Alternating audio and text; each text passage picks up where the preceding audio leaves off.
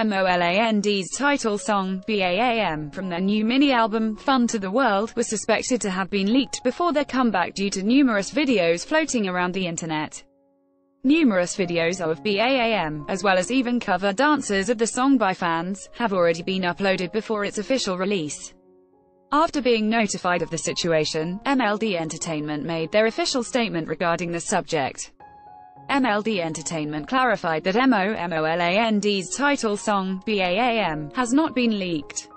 It all began when a fan uploaded a video dancing to the music of BAAM. The music was not leaked, but a part of the music video was shown at the end of a variety program and seemingly, it was this clip that was circulating the internet.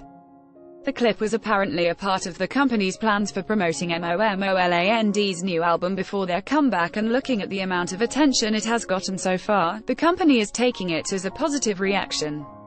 MLD Entertainment's official statement, Hello. This is MOMOLAND's agency, MLD Entertainment. We are writing this statement to clarify the suspicions of the leak of MOMOLAND's new title song, BAAM. After looking into the situation, it has been revealed that a portion of the music video, which was revealed at the ending of a variety show program, was used and the song was not leaked. The edited portion of the music video shown on the variety show program was a part of our company's promotions prior to the release of the album. As a result, it is not an illegal leak of the song.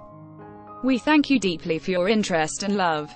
Ad Choices Advertising in Red invented by T to take a first look at the music video. Meanwhile, Momoland is scheduled to make a comeback with their fourth mini-album, Fun to the World, through their showcase today, June 26, so stay tuned. This fan's ultimate dream came true when she actually met EXO.